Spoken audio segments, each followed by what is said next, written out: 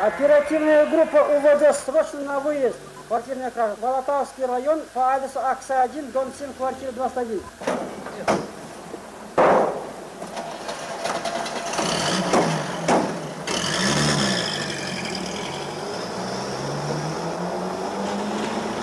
Кольцо обручальное, я вчера его сняла, у меня раздражение на руке. И два этих, двое пар сережек. Ну вот в этот момент вот кто-нибудь бы был дверь подержать из мужиков, он бы выпрыгнул в окно или нет? Конечно, выпрыгнул. Выпрыгнул, да? С третьего, с четвертого прыгает. Вы не находите, да? А? Не находите? Я не могу. Да. Возраст примерно какой? Лет 20. Телосложение. Об этом прям не хочется вспоминать. Когда я пришла на работу, то было взломано три двери в операционной. Сейф лежал на полу, взломан. В сейфе лежало 6 ампул промедола, димедрол, аналгин. Все это было похищено. Такое неприятное ощущение, прям чувство за то, что наркоманы пролазят везде и всюду, даже в, стериль- в стерильные условия, в операционную, не брезгуя ничем. Водитель Макеев погиб на месте дорожного происшествия. Сидящие, сидящие пассажиры скончались при доставлении в больницу. В бардачке данного автомобиля было при осмотре обнаружено наркотическое вещество. Таких дорожно-транспортных происшествий в течение пяти лет, еще чтобы было по несколько трупов, практики расследования дорожных происшествий еще у нас не было. Только что приехали с кладбища. Подъехали последние на машине, подъехали вот сюда, около по- подъезда стояла машина скорой помощи, с которой вышел молодой человек в белом халате, представился врачом Центральной клинической больницы и сказал, что они по приказу изымают наркотики, дабы ими не воспользовались наркоманы. Мы отдали наркотики, они уехали. Потом совершенно случайно, совершенно неожиданно был вызов на суд. И вот э, у следователя узнала, оказывается, что никакие это не врачи, что это просто студенты мединститута. И, в общем-то, обыкновенные наркоманы, которые выискивали раковых больных, и так по-варварски пользовались бедственным положением.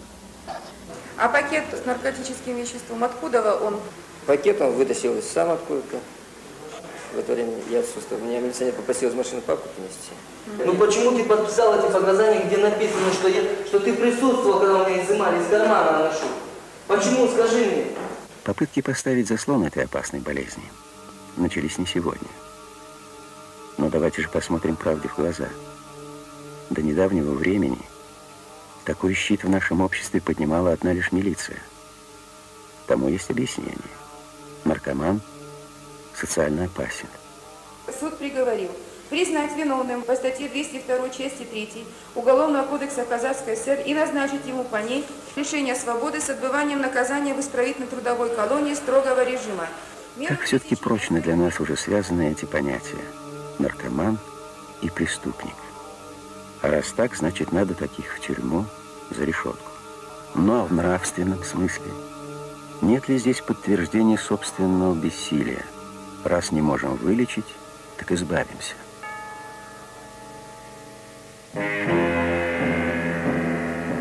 Перед вами то самое, ради чего наркоманы готовы на все. Изначально в наркотиках ведь не только беда. Там есть и особое милосердие. Там две стороны, как у каждого сильного средства воздействия. Для самих наркоманов в таких ампулах, в листьях особой травы, только гибель. Но жертвой ее станут лишь добровольцы. А дорога в такую ловушку обычно бывает совсем незаметной. Она может начаться в обычном дворе, среди самых обычных мальчишек.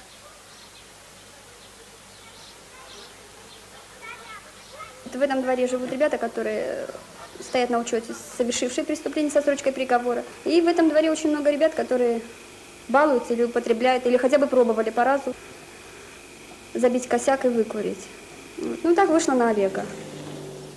Если раньше он у нас только курил, то в последнее время стал замечать то, что он стал колоться у нас. Откуда он брал эти лекарства? Значит, он похитил у бабушки свои рецепты под печатью и покупал эти лекарства. Три дня назад мы его возили на свидетельствование, и врач дал заключение, что у него, значит, дорога на ногах, на руках исколоты. Олег, конечно, сам это все отрицает, и вот это его употребление наркотических веществ привело к тому, что сейчас он стал хуже, он стал озлобленнее, какой-то нервный, дерзкий такой. Если с ним можно было раньше как-то поговорить, установить контакт, то в последнее время это практически не удается. Он все принимает в штыки. Поэтому мы решили, что для Олега сейчас самое целесообразное – это определить его принудительно на лечение. И вот сейчас мать вынуждена обратиться к участковому врачу-наркологу, отвезти э, младшего брата на обследование. Потому что брат сам рассказывает, что Олег давал ему анашу с сахаром, на масле жарил. Ну и закономерность такая цепочка у нас получается, что Олегу сначала дали попробовать, потом Олег втянулся более-менее сам, а в последнее время он стал уже предлагать эти вещи дальше. И девчонкам, и ребятам, и которые младше его во дворе. Так где же были родители, школа, товарищи? Я только начал курить, мама уже стала догадываться. Бабушка у меня врач, и она сразу уже, ну, по мне видно было потом уже, и она сразу стала бить, как говорится, в колокола. Потом что было? Где-то я курил месяц ее, потом мама меня положила в больницу в наркологическую. Сколько ты находился в наркологии? Полтора месяца. Как говорится, там не лечат так. Больше узнаешь там. Все. А ты лежал со взрослыми или Я со сверстниками? со сверстниками. Я как лежал первый раз, я стал знать больше, чем я знал. Я, то я курил, я только видел, так знал, как хотя бы ну, себе сделать, забить. А там я узнал, как и колятся, и все. Основном... Задумайтесь. Больница не излечивает, наоборот, становится школой особого опыта. И сюда проникают наркотики. Ну, чем я больше я начал курить, тем я больше и понимать начал. Это центр называется. Это сильнее. Гашиш? Да, сильнее. Нет, это гашишем не назовешь. Есть вот санаши, вот с такой, например, сырой только стирают ручник, вот это гашиш. Но откуда же все это берется? Берется. Места, ну это в чем места есть такие? Ну там сейчас в это в чу там борется, это очень страшно там сейчас. Борется с этим. Даже местные уже, увидев все, в основном ходят ночью и добираются ночью. Днем прячутся в лесополосах, там, туда-сюда, а ночью пошел. Ну, провез половину себе, половину ему. Привезет две сумки, сумка ему идет. Но он рискует, видите, как его снабжают деньгами туда-сюда, и он едет. Таких с виду самых обычных долин в Казахстане десятки и сотни. Но только у этой одной сразу столько названий. Святая гора, Чукага, столица Гашиша. С 30-х годов утвердилась здесь полноправной хозяйкой особого качества конопля – травка.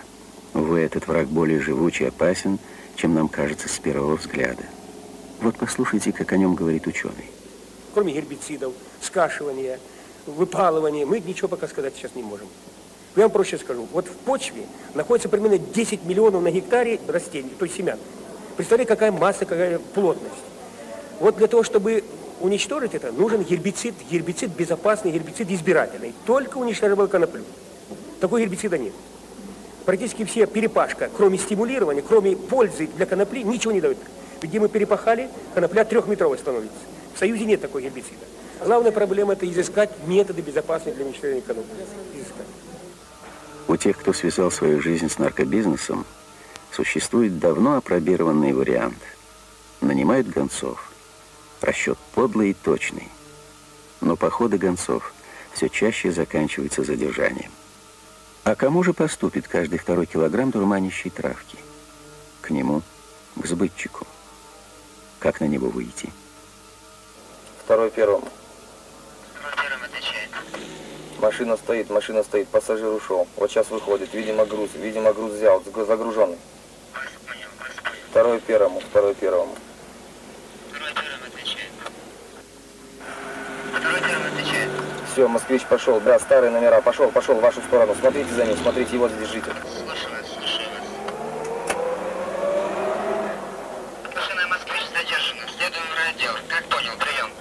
Понял вас, понял вас. Держите руки, держите руки, чтобы не выбросили. Держите. Сейчас мы следуем за вами.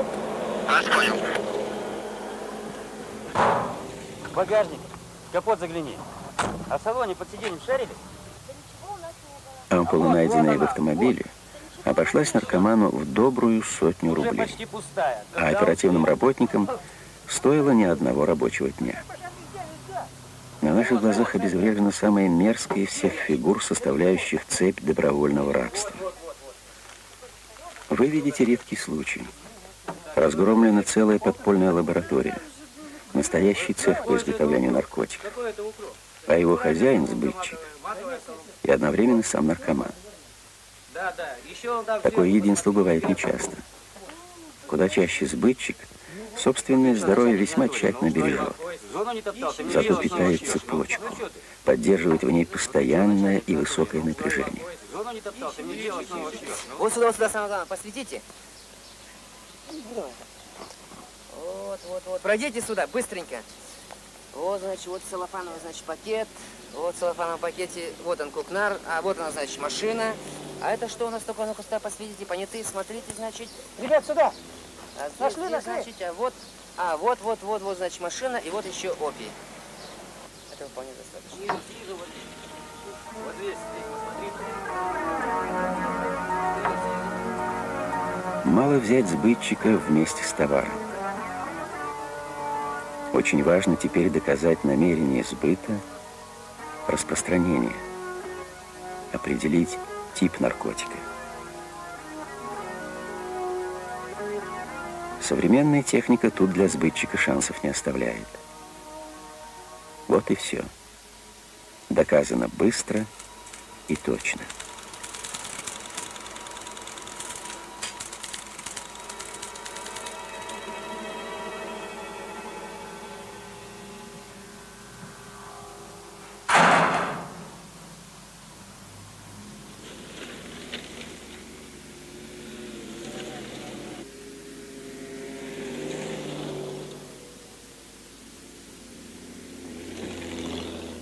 Изоляция. Принудительное лечение. Здесь, пожалуй, важнее успехов врачей, хоть и временный, но успех социальный. Любой наркоман приобщает как минимум трех человек к рабской жизни. Но вот он за решеткой, и кто-то уже с ним не встретится.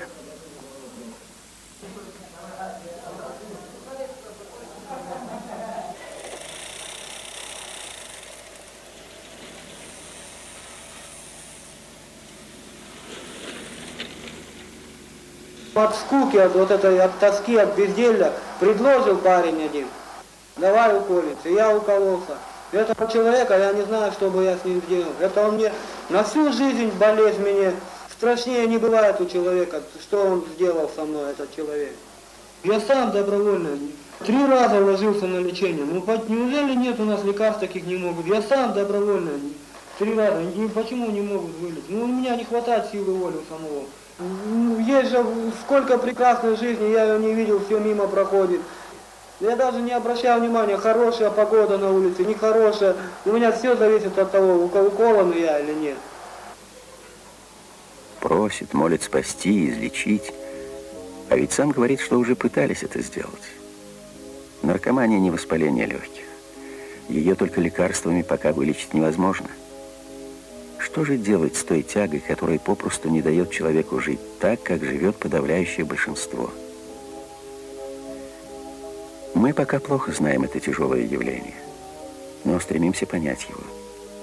Общество снова идет навстречу больному, когда, одолев страх и стыд, он согласен лечиться сознательно, добровольно. При упорном и долгом лечении могут быть положительные результаты. Пусть не часто встречаются пока те, кому удается порвать и вернуться в наш мир, но они есть. И в каждом таком примере росток нашей общей надежды. Все надо попробовать в жизни. Попробовала. Пробовала, не понравилось сначала. Потом дня через два опять попала в эту компанию, опять попробовала. Потом уже появилась действительно какая-то тяга к этому. Ну и уже начали ходить именно для того, чтобы только покурить. Как? Потом у меня появился друг. Он был, конечно, старше меня намного, на 13 лет был старше меня. Ну, он мне начал предлагать, что, мол, давай, мол, лучше я, мол, туда уколю. Уколол, попробовала. Ну, конечно, это больше понравилось. Ну пошло вот так вот, не знаю, как-то само по себе. Ну, в принципе-то занятия я не бросала никогда, я училась, занималась помимо этого и конным спортом и всем остальным, но тем не менее я всегда ходила в эту компанию, всегда мне чего-то не хватало. Ну и уже на третьем курсе, когда я была, тогда я уже действительно плотно села. Я сидела на игле полгода.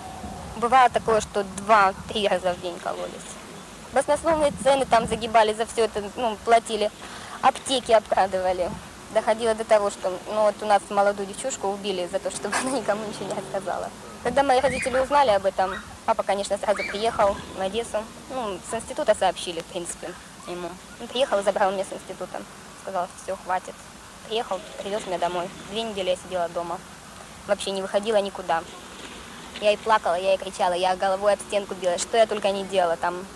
Мне жить не хотелось. Я думала, что если вот я не уколюсь, ну не сегодня, вот, ну если завтра там не уколюсь, то все уже. Мне казалось, что все, я, ну, кончусь я, уже не могла.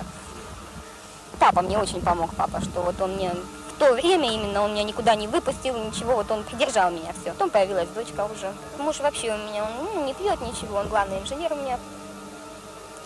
Конечно, мне, ну не то, что там страшно, что вот у меня вот такая вот жизнь такая была. Нет, мне не страшно. Но с другой стороны, просто неприятно, что вот все-таки это было все, со мной было, именно со мной. Я сейчас так с ужасом думаю, что все-таки, не дай бог, когда-то моя Алина, моя дочь, может заняться этим делом. Я не знаю, я прям не могу себе представить этого.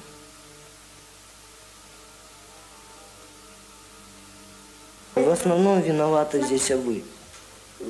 Я вам прям в глаза говорю. При, вот, при всех. Вот это иглу, вот это больше я узнал только из-за вас. В больницу как бы. А теперь, как я буду в Карелии, я не знаю, там вылечусь. Здоровье, полздоровья потеряю. Да я лучше повешаюсь на. Все, А жить я не буду в Карелии, я вам говорю.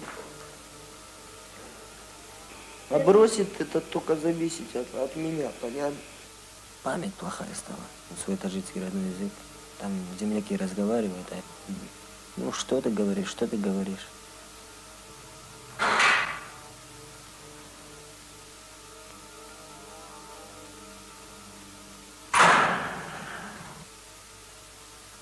Ну, кому я нужен, если я в такой жизни, допустим? Какая женщина путевая будет со мной жить? Ну? Наркоман не должен, не имеет права избрать смерть в рассрочку. И когда он бессилен бороться, мы должны протянуть к нему тысячи рук. Ведь на то мы и люди –